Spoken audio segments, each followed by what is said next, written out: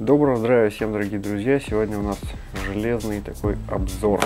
Значит, покупал я в прошлом году катушку мультипликаторную. Это мой первый опыт. Это катушка Pizza Torrent. А, вместе с ней в комплекте мне пришла плетеночка. Pizza Ланки. Значит, ну и сейчас я вам все свои впечатления по поводу всего этого расскажу. Ну и плюсом ко всему покажу некоторые кадры с рыбалок, а, как катушка работала, вот, что интересного и так далее.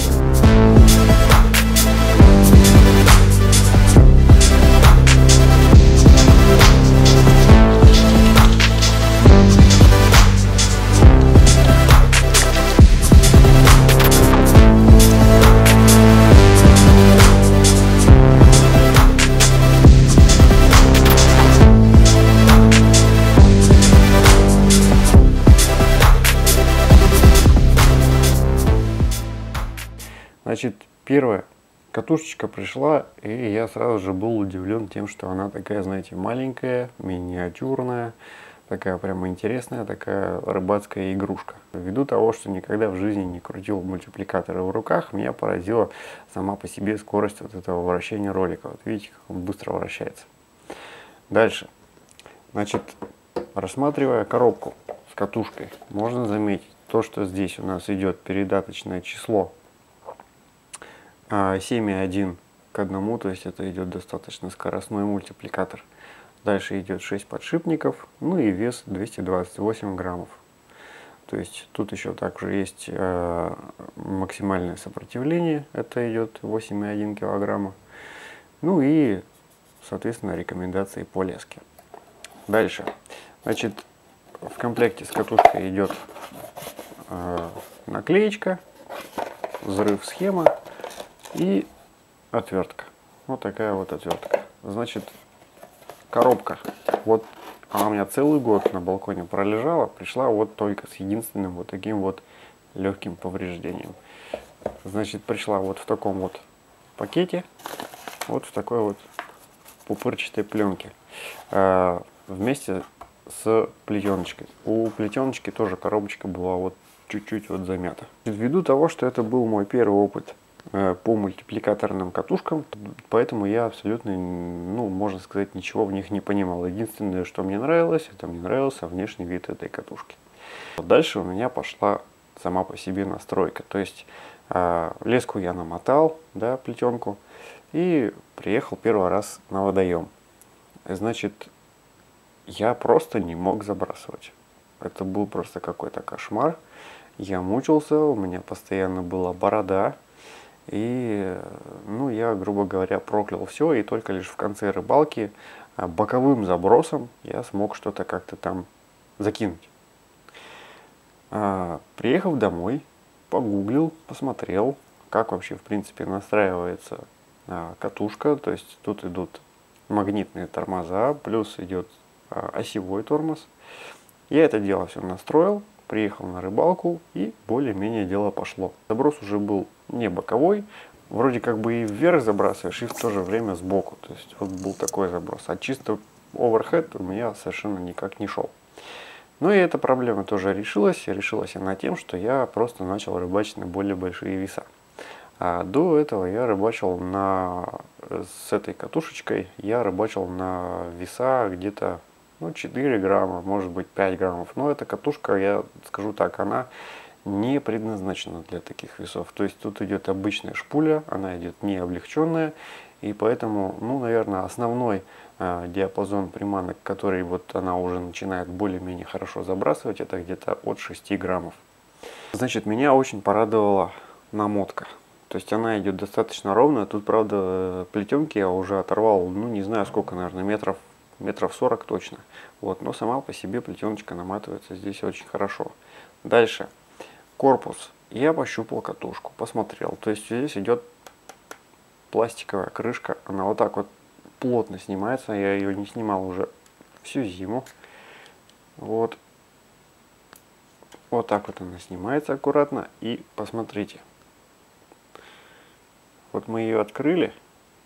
Она вроде безо всяких уплотнителей, безо всего остального. Но тем не менее, здесь нету ни пылинки. То есть подгонка деталей у этой катушки очень такая достаточно добротная, я бы сказал. Вот здесь вот идут у нас тормоза магнитные. Это вот защелочка, то есть как бы тут вроде как бы пластика, а там все-таки идет металл. Ну и все это спокойно вот так вот защелкивается. Шпулька сама по себе вот такая вот. То есть она идет металлическая, она идет не облегченная. Вот такая вот шпулька. Нигде никаких каких-то, знаете, а, грязи я не нашел. Вот так вот все закрывается и защелкивается. Все. Значит, магнитные тормоза регулируются трещоточкой. Ну, здесь они у меня обычно стояли где-то вот на пятерочке. Дальше. Смотрим люфты. Смотрим люфты в ручке. То есть вот он есть, но он прям минимальный. А катушка отходила целый сезон, и она прям вот и в хвост, и в гриву на, на каждой рыбалке. То есть это у меня была основная катушка, с которой я рыбачил весь практически прошлый сезон. Тут даже можете заметить то, что ручки немного так подстерлись от моих пальцев. Вот эта вот часть катушки выполнена, не знаю, то ли это металл какой-то со специальным покрытием, то ли это какой-то композит, не могу сказать, но достаточно прочный материал. Ну, здесь вот у меня царапинка тут небольшая возникла. А, но это как бы само собой разумеющееся, потому что по кустам, по всяким, везде, в общем, катушка ходила. В разных условиях она была. А, я ее топил. А, была она у меня целый день под дождем. В общем, использовал ее вообще просто, ну, не щадя, так скажем. И я считаю, что за свои деньги а, я покупал ее в прошлом году примерно за 2000. Сейчас она вроде как бы стоит даже, по-моему, подешевле. А, я считаю, что это просто, ну, наверное, такой хороший, добротный инструмент для того, чтобы влиться в мир бейткастинга для того, чтобы понять, что вам надо, для того, чтобы нормально прорыбачить этой катушкой там 2, 3, 4 даже сезона при надлежащем уходе и аккуратной эксплуатации. Поэтому, ребят, я думаю, что эту катушку можно смело брать. Она у меня, правда, немного грязненькая, ее надо почистить. Вот, но в целом и в общем я бы сказал, то, что эта катушка хорошая и достаточно приятная. Единственное, что меня в ней вот прям вот смутило-смутило, это люфт лесоукладывателя. Вот такой вот, видите? Я не знаю, у меня нет опыта э, общения с другими мультипликаторами. Может быть, на других тоже присутствует какой-то вот такой вот люфт, или может быть здесь что-то надо подтянуть. Это я еще разберусь, еще посмотрю. Но вот как сам факт того, что здесь вот так вот люфтит, меня немного не устраивает. Ну и плюсом ко всему есть э, небольшая вероятность того, что вот в этот бесконечный винт, да, в него а, может попасть какая-то грязь и там забиться и придется там чистить. Дальше. А, сейчас вот леска у меня полностью смотана, но на Алиэкспресс продаются специальные такие клипсы, знаете, которые, э, которыми можно э, зацепить леску, которая вот у вас проходит через ролик лескоукладывателя. То есть вы леску просовываете вот здесь вот это, причем я вам скажу, достаточно задача сложная, как вот отсюда засунуть лесочку вот в ту маленькую дырочку, чтобы она у вас тут вышла. Тем более у меня леска здесь намотана 0.1, поэтому она достаточно мягкая, и ее умудриться туда протолкнуть, это надо как-то, ну, в общем, это достаточно долгое занятие, и на рыбалке этим заниматься, конечно, не стоит. Поэтому не поленитесь, те, у кого мультипликаторы есть, или, или планируете покупать, сразу же закажите специальные клипсы для лески, для мультипликаторов. И все, это специальная штучка такая, она будет у вас постоянно здесь, но вам уже не надо будет мучиться и просовывать э, леску в э, отверстие лесоукладывателя. Что касается самой по себе лески.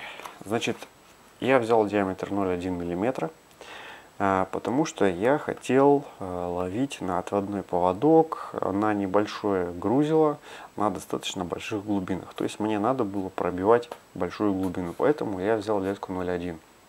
Значит, леска устроила меня абсолютно по всем параметрам. Во-первых, у нее сечение. Оно реально, оно вот она на самом деле как, как 0,1. То есть она тоненькая, видите? Дальше, сама по себе сплетена леска достаточно добротно, то есть э, за весь период ее использования э, на ней не появился никакой ворс, то есть на, него, на ней вообще абсолютно ничего не появилось. Единственное, что произошло, это немного вымылась из нее краска.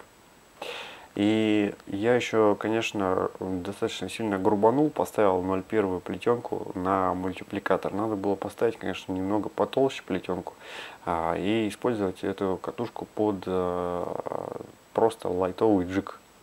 А я использовал ее для поводковых оснасток в основном. Леска это свою разрывную нагрузку она держит. То есть здесь заявленная нагрузка идет, а тут ничего не идет. Тут идет 0,1 и 10 либров.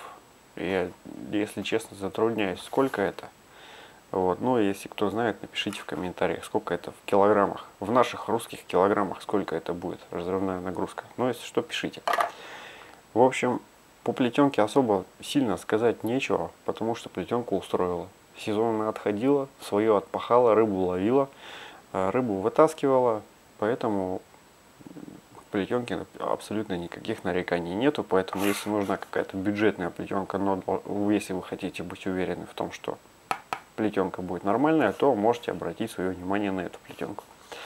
Значит, если вы все время рыбачили с мясорубками и только-только начали осваивать э, ловлю с мультипликатором, то есть э, такой небольшой нюанс – все говорят то, что там вроде как повышенная чувствительность, там все остальное, но для меня нет, для меня такого нет, потому что обычными мясорубками, обычными вот такими вот катушками, я, как правило, ловлю с расслабленным тормозом заднего хода.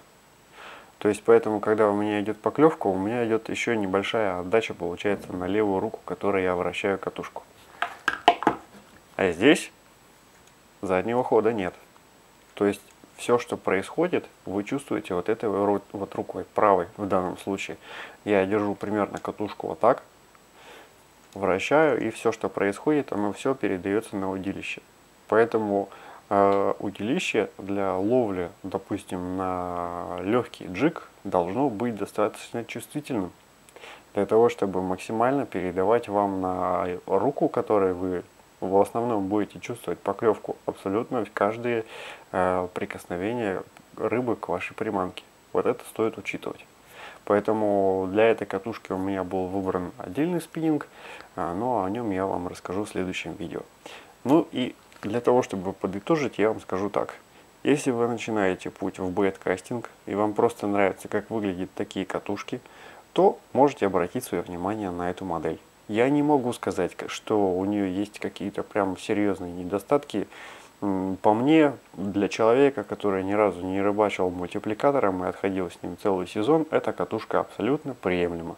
Она мне нравится, и я ей пользуюсь. Если потом в дальнейшем она свое отходит, то я возьму уже какую-то, может быть, другую модель, более какую-то серьезную. Ну а пока буду рыбачить с ней. И это будет у меня основная катушка для ловли на лайтовый спиннинг.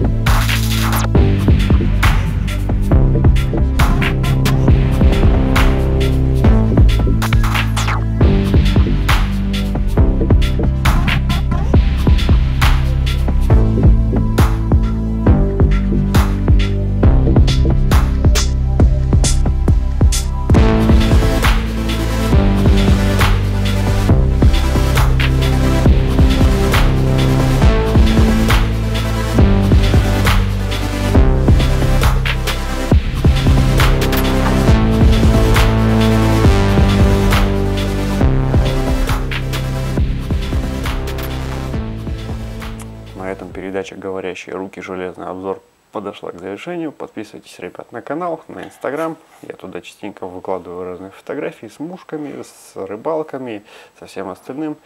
Ну и все, ставьте пальцы вверх, ставьте пальцы вниз, если кому-то что-то не понравилось. Пишите, задавайте вопросы в комментариях. И все, всем пока, увидимся в следующих видео.